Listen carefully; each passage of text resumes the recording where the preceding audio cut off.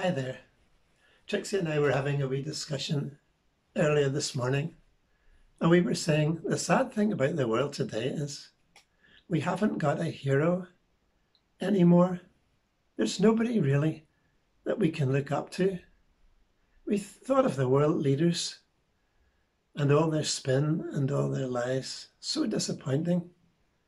We think and think of the royals, we can think of sports personalities, we can think of musicians, and though we might enjoy their music and so on, when we look at their lives, we think, oh dear, you know, no heroes anymore.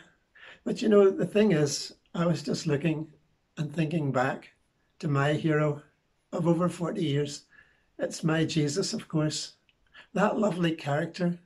He always keeps his promises. He never lets you down. He does what he says he'll do. He's the lovely one, the strong one. He's the one that we can put our trust in.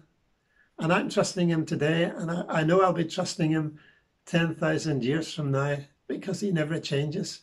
He promises to come back and to take me to be with him where he is and to be with him forever.